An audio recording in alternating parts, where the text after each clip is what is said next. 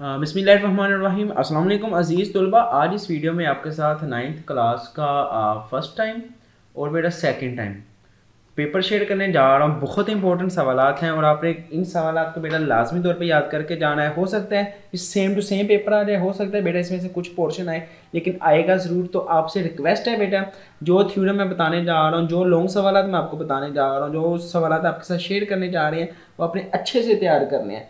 इन videos का बेटा मकसद सिर्फ़ यही होता है कि ताकि आप लोगों की अच्छी तैयारी करवाई जा सके। सो बेटा ग्रुप वन के बच्चे जो हैं वो अच्छे से देखें। स्मिट्रक कलर की तरीफ करें डिफाइन स्मिट्रक मैट्रिक्स हासिल ज़रब मालूम करें। फाइंड द प्रोडक्ट नातक दाद की तरीफ करें।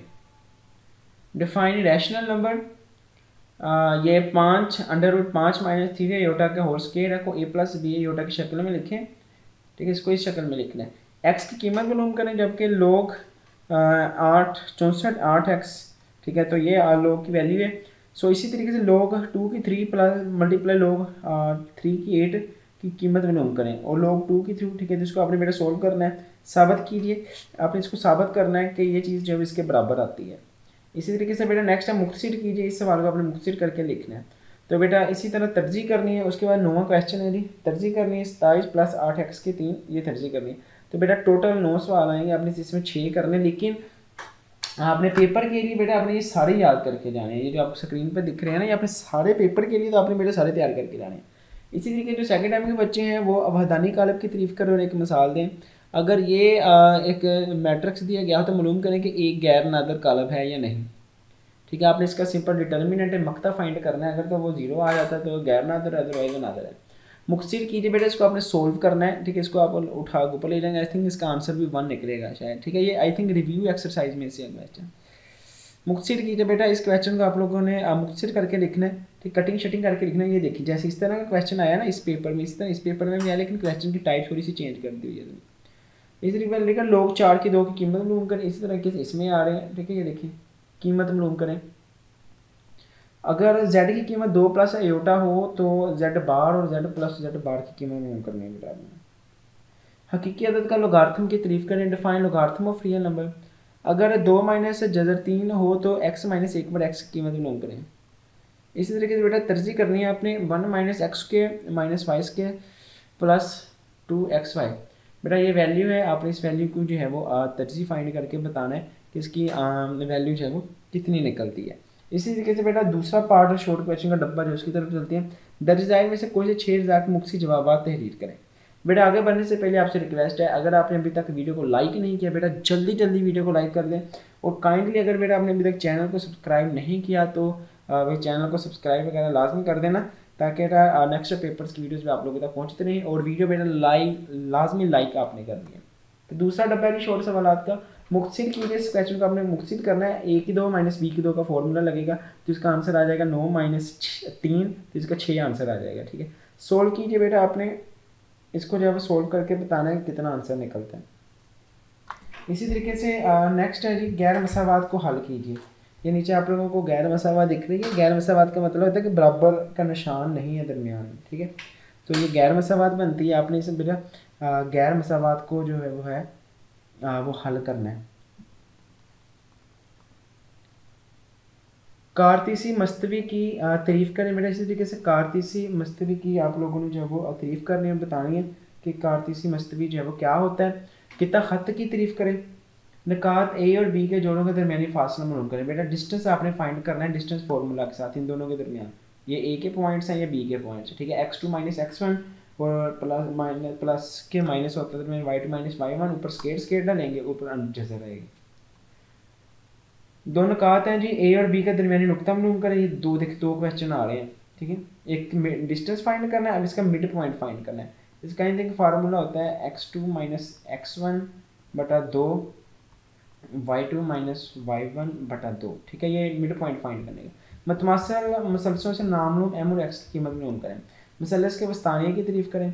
इसी तरीके से नेक्स्ट है जी बेटा इसका तीसरा पार्ट देख लेते आज़म बजरिया तरजी find the by factorization what is difference between equation and inequalities solve इसको बेटा आपने सोल्व करना है। देखिए इस पेपर में भी था ये आई थिंक इस पेपर में भी आ रहा था इसी तरीके का। ठीक है तो थोड़ा सा चेंज है, है इसी तरीके का पेपर सो so, बेटा इसी तरीके से दी गई लाइंस में से जी एक्स और वाई में हमारे मतवाजी लाइनों की निशानदेही कीजिए।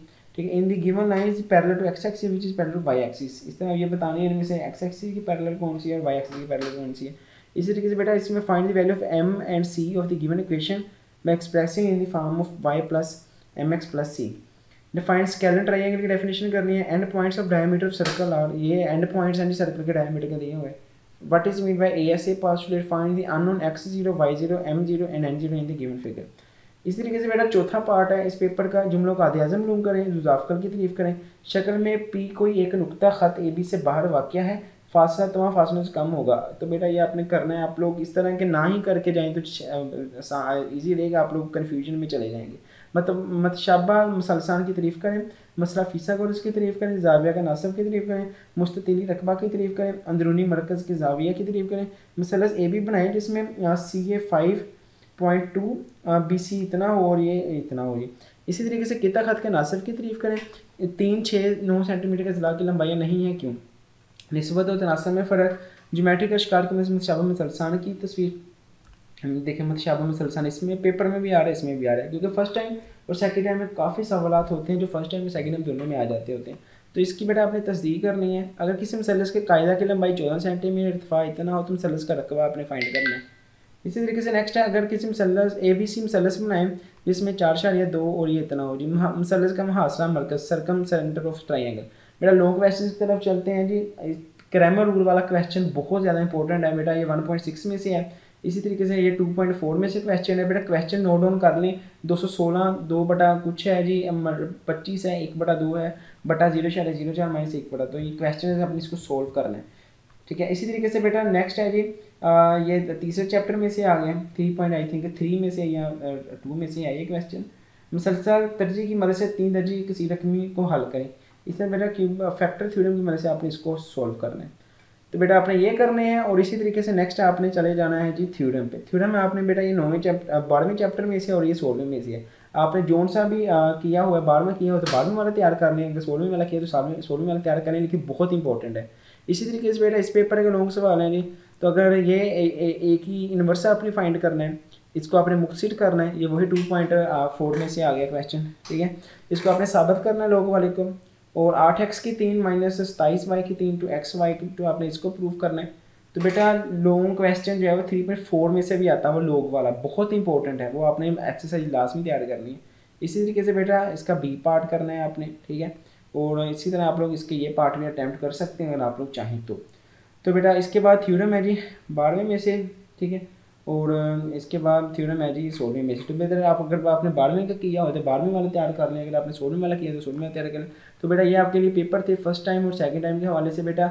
लेकिन आपने कोशिश करनी है, तमाम बच्चों ने दोनों पेपर याद करके जाएँ। क्योंकि कई दफ़ा पेपर जो है वो आगे पीछे भी हो जाते, हो सकते हैं। फ़र्स्ट टाइम वाली चीज़ें शायद सेकंड टाइम में आ जाइए सेकंड टाइम वाली फ़र्स्ट टाइम में बेटा आपने दोनों पेपर वाइज करके जाने हैं। इन ताला आप लोगों का पेपर बहुत अच्छा हो जाएगा।